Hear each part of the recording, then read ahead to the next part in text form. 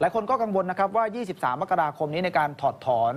ทั้งคุณยิ่งรักษณ์ชินวัตรคุณนิคมไวยรัชพานิชและคุณสมศักดิ์นะฮะจะมีความวุ่นวายทางการเมืองเกิดขึ้น เพราะว่าก่อนหน้านี้เนี่ยมีกลุ่มคนเสื้อแดงก็นัดจะไปให้กำลังใจอดีตนายกที่อาคารรัฐสภา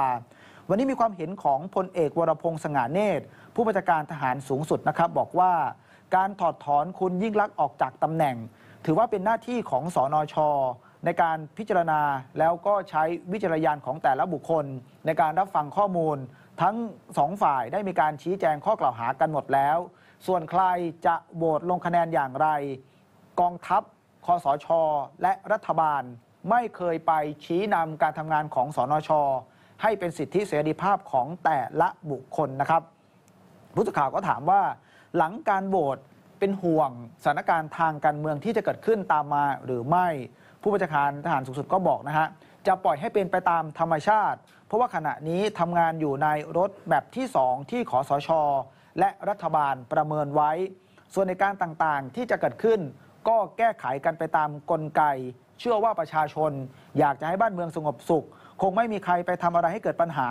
ไม่ว่าผลโหวตจะออกมาอย่างไร อยากจะให้ทุกคน ยอมรับนะครับ โดยเฉพาะประชาชนอยากจะให้เข้าใจแล้วก็ร่วมมือกับรัฐบาลในการแก้ไขปัญหาทำให้ประเทศชาติสงบ แล้วก็จะได้เดินหน้าต่อไปได้นะอืมตกลงฟรีโหวตนะฮะ ฟรีโหวตก็ใช้เสียง 3 ใน 5 สนชมี 220 คน 3 ใน 5 ก็ 132 คนครับก่อนหน้านี้มีข่าวว่าคนที่จะถอดถอนคุณยิ่งรักษณ์มีสักประมาณ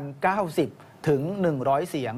หลังจากนั้นก็มีข่าวมีข่าวว่าสนชสายใกล้ชิดทหาร ก็พยายามที่จะไปล็อบบี้กันให้มีเสียงถึง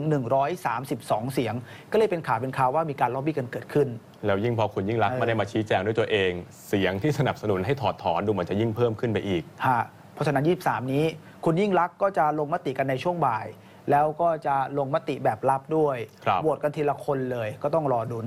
อืมพลาดไม่ได้นะครับ ติดตามได้ที่นี่เนชั่นทีวี